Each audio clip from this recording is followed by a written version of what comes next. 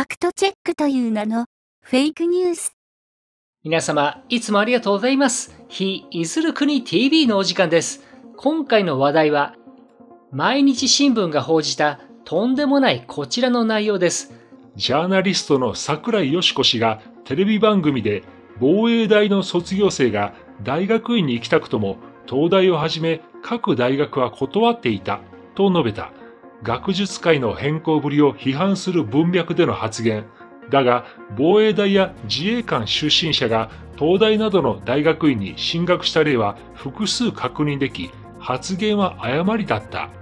という感じで毎日新聞が櫻井氏の発言の事実確認ということでファクトチェックを行ったんですが結果的にそのファクトチェック自体が間違っていたという根拠をこちらの記事からご覧くださいませ。毎日新聞がファクトチェックと称して桜井よし子氏の発言を誤りと断定している。これがファクトかどうかチェックしてみよう。このネタ元はインファクトという左派系サイトだと思われるが、毎日新聞は、それを情報源を明示しないで鵜呑みにし、東大などの国立大大学院で、防衛大や自衛官出身者が学んだ例は複数確認されたから、桜井氏の発言が誤りであると断定している。まず、この推論は論理的に誤りである。桜井氏は大学あるいは大学院が自衛官あるいは防衛大卒業生の入学拒否が過去に存在したと言っているので、現在の複数の事例を確認しただけではこれを否定できない。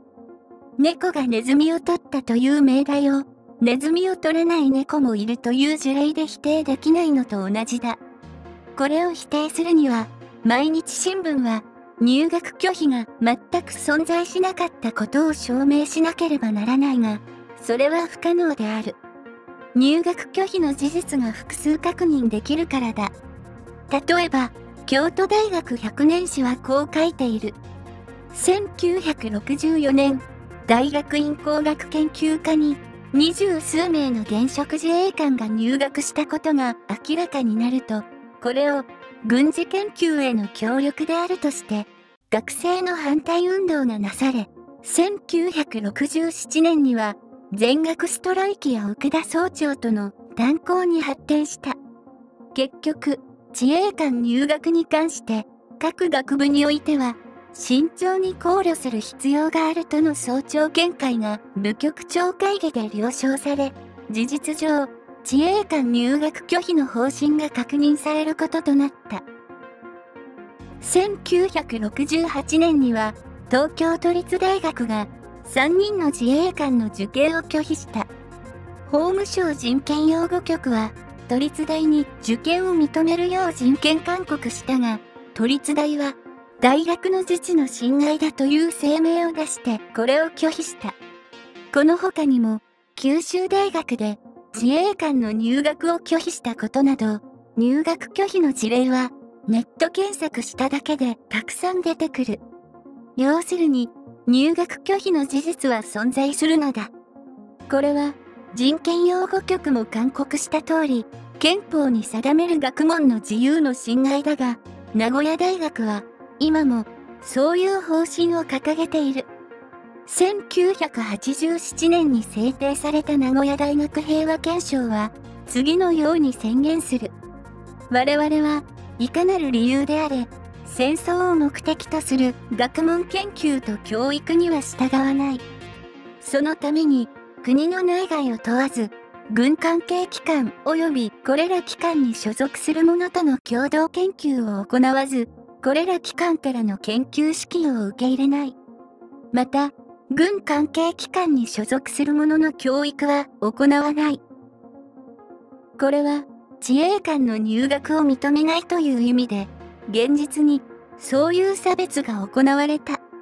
これについて2014年に三宅博議員維新が国会で質問したのに対して下村文科省は名古屋大学は平和憲章に拘束されないと答弁し命題もそれを確認した。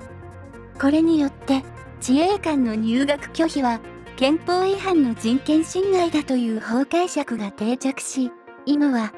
少なくとも自衛官であることを明示的に理由にした入学拒否はないが、それは過去になかったことを意味しない。したがって、桜井氏の発言はファクトであり、毎日新聞のファクトチェックは誤報である。毎日は記事を訂正して桜井氏に謝罪すべきだ。追記、ツイッターで教えてもらったが、名古屋大学は2014年に三宅議員の指摘に対して入試において自衛官その他の職業により受験資格を制限することは教育の機会均等を定めた憲法及び教育基本法の趣旨から見て許されないと入学差別を事実上認めて公式に撤回した。との内容です。またまた毎日新聞がフェイクニュースを流したようですね。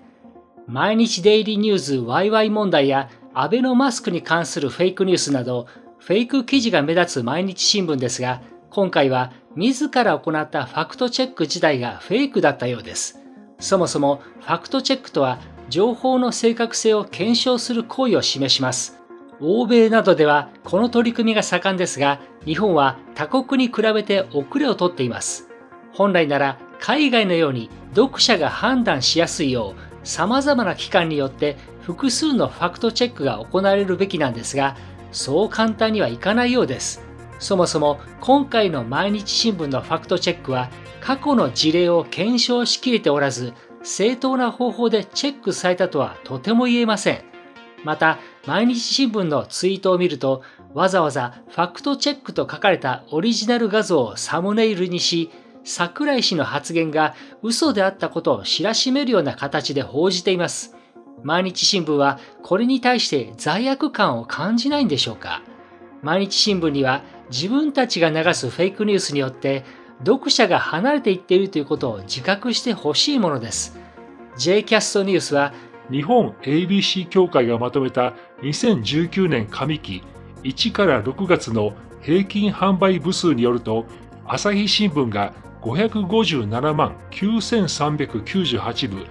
前年同期比6.3%減毎日新聞が243万5647部、前年同期比13.8%減と報じています。毎日新聞は前年に比べてなんと13.8%も発行部数が減少している状況です。SNS や YouTube などの新しいメディアが発展している現代では自分で多くの情報を簡単に入手できるため人々の情報の生産能力が向上していると言えますね。もはや会社名だけで生き残ってきた新聞が淘汰される日も近いのかもしれませんね。毎日新聞にはメディアとしての立場を再認識してもらい、事実に基づく報道をしてほしいものです。以上、今となっては国民を騙す術はありませんからね。